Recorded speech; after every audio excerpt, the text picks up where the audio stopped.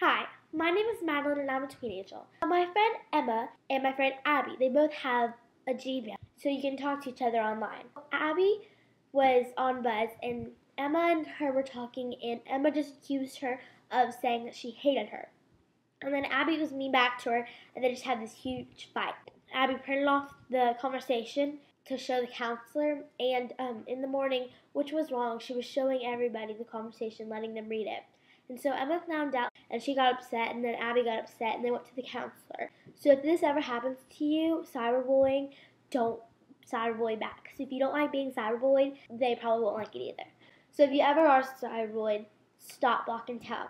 Stop and don't reply back. Block them, change your password or whatever you have to do to block them, and tell a trusted adult.